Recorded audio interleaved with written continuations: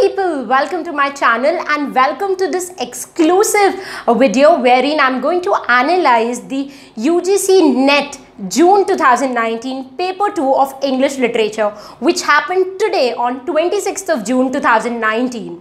In this video, I'm going to answer all your questions which must be bubbling in the head of the aspirants. You must be wondering, was the paper easy? Was it tough? What kind of questions were asked from different sections? What about the new syllabus? Was there anything specific that uh, changed in the paper because of the new syllabus? What were the kind of questions asked from the new syllabus topics like cultural studies and English in India? We are going to address all these questions collectively in this video. So watch this video till the end.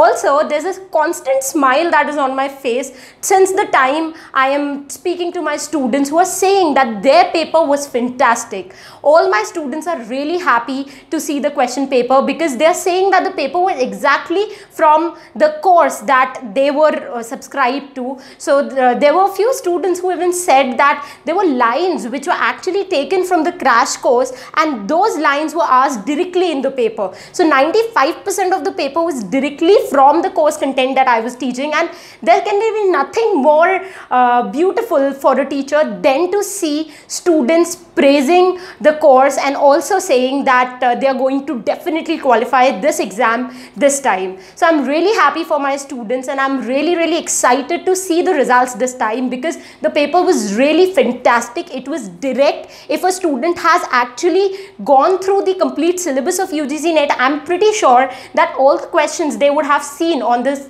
screen in front of them during those three hours, they would have found that each of those questions uh, are familiar. So I'm really happy for my students and without wasting any more time, let's jump right into the analysis and let's see what kind of questions were asked this time by the NTA UGC NET English Literature Department. So the very first thing that I would like to talk about is the kind of questions they were asking from Shakespeare this time. Yes guys, there were five questions from Shakespeare. There were times in UGC NET when Shakespeare was said to be a very neglected sort of writer because they were hardly asking one question from Shakespeare in plays and sometimes they would not ask even a single question. But I kept on saying in my audios and in my videos to my students that even though they don't ask questions but there are chances that they, they can ask as many questions as they want from Shakespeare because he's such an important dramatist. And see what happened. This time they asked five questions from Shakespeare. In my audio course, I teach 20 Shakespearean plays in detail, talking about the characters, important line, the plot, because I knew, know that they can ask questions from any of these 20 important plays. Shakespeare has written 38 plays, out of which 20 are really very important.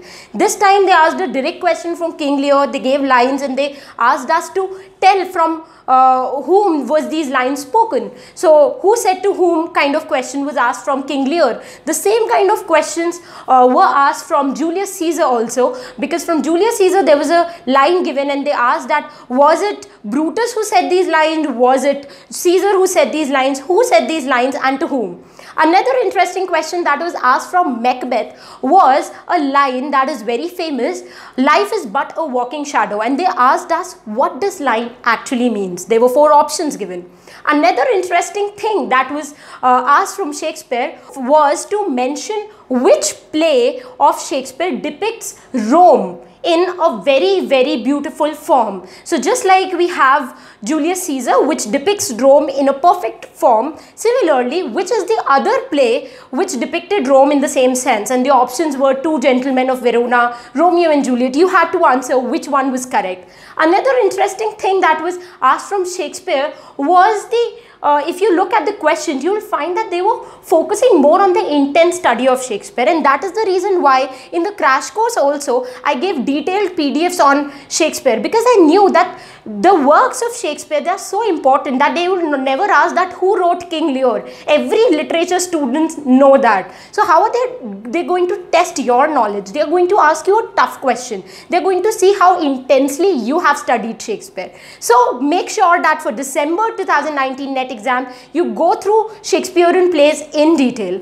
Another important thing that students are curious to know is the questions which were asked from cultural studies. Yes guys, there was a hype created about cultural studies and I always kept on telling my students that cultural studies I have included in the literary theory section in detail in my course. If you look at new historicism and the writers associated to that like Stephen Greenblatt, William Raymonds, you'll find that all these writers are also associated to cultural studies. And what happened this time? Yes, there were two questions directly from cultural studies talking about Raymond William and Stephen Greenblatt. From Stephen Greenblatt, they ask a question, cultural poetics is conned by whom? And another question from Raymond William was from his work, Country and the City.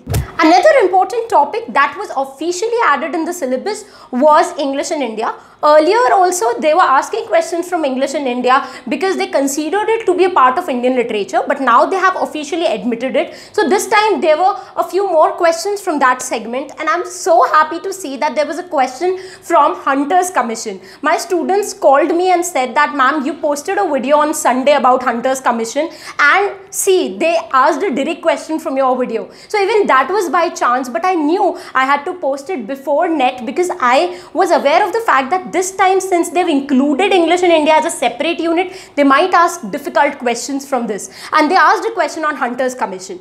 But what about the sections which they did not mention in the new syllabus? Were they asking questions from those sections as well? Like literary movements, like literary terms and devices? Yes guys, they were asking a lot of questions from these units. I kept on saying in my videos that it doesn't matter what they put up on, on the official website and what they don't put up on the website.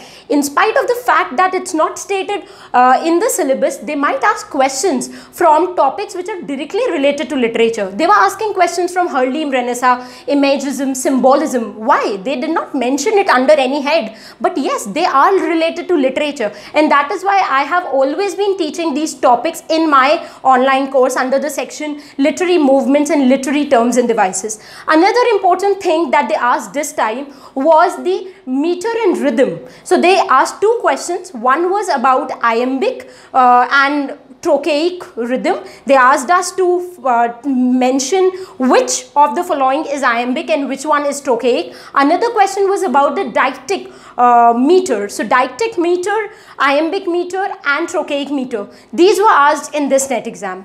Another important thing that students were questioning me uh, in the last days that they have not mentioned Old and Middle English. So are they going to ask questions?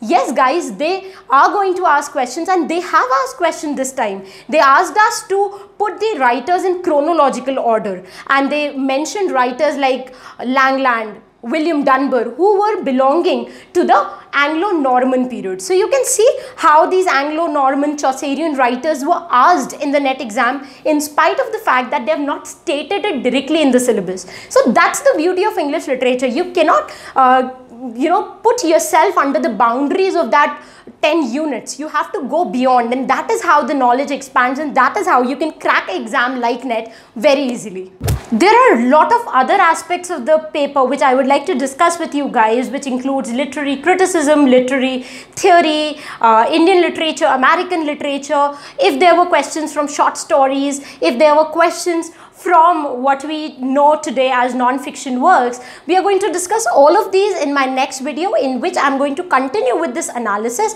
So stay tuned to my channel and hit the subscribe button if you've not subscribed so far to receive uh, updated content about UGC NET English literature. So till the time we meet next, happy learning, keep loving literature and stay tuned to arpitakarwa.com.